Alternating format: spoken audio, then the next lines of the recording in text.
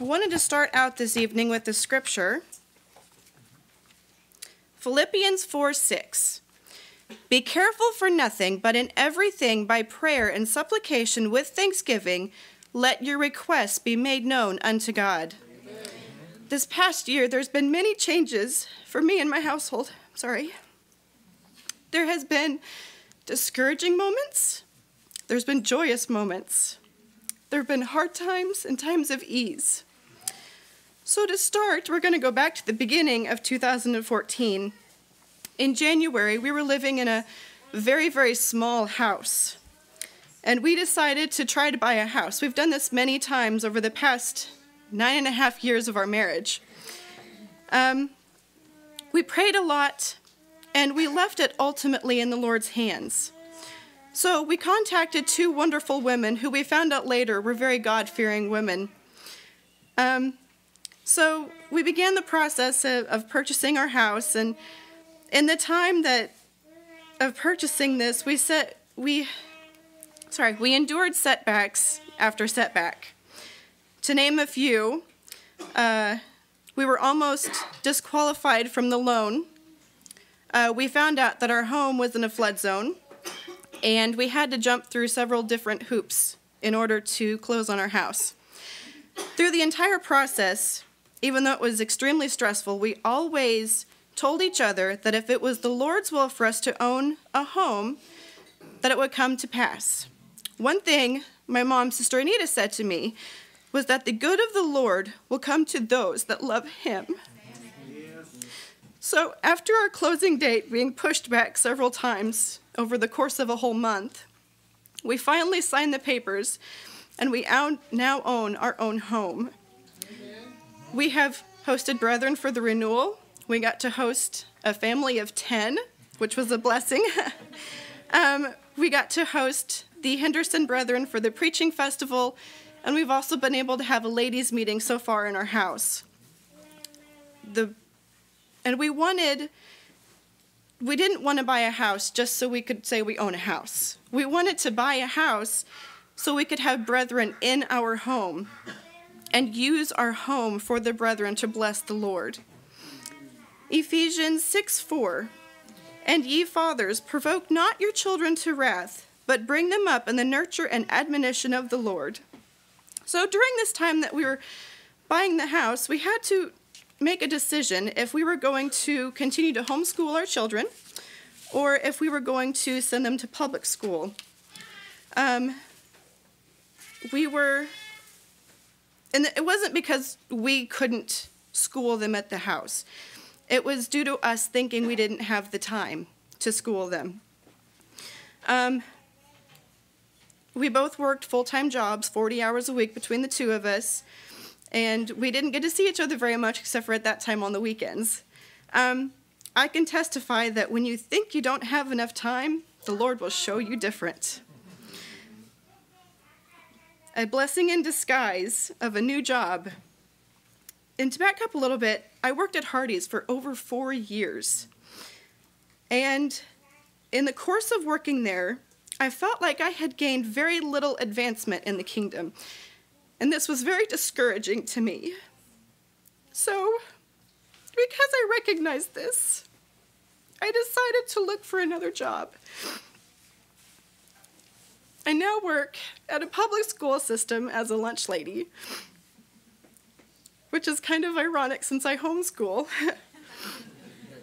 um, but I now enjoy getting up and being able to go to work. Even though I can't speak of the Lord to the children at the school because it's a public school, pardon me, I get to talk with them and I get to shine my light in other ways. Um, I get to talk with them as they come through the line, and a lot of them bring up church and Jesus. And one little boy came up to me and said, You know, when you die, you get to go to heaven. He doesn't know what a blessing he was to me. He made my soul rejoice that day. Sorry. This new job has opened up more time for us to school our children in the home that the Lord provided for us. Daniel teaches them in the mornings while I'm at work, and then when I get home, I teach them in the afternoon. this year, I have also noticed the kids' interest in God being increased. And this is not necessarily due to myself or to Daniel. It is due to all of the brethren here and the Lord opening their hearts. They're asking more questions.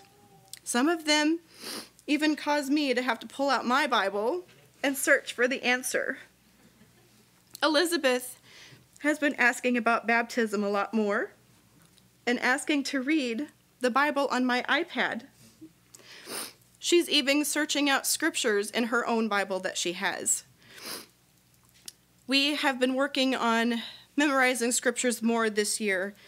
I hate to admit, but in the past we haven't worked on memorization as much as we should.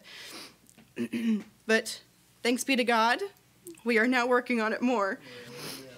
Um, we're now basing our disciplining more on the scriptures, and we back our disciplining up with what Jesus has said.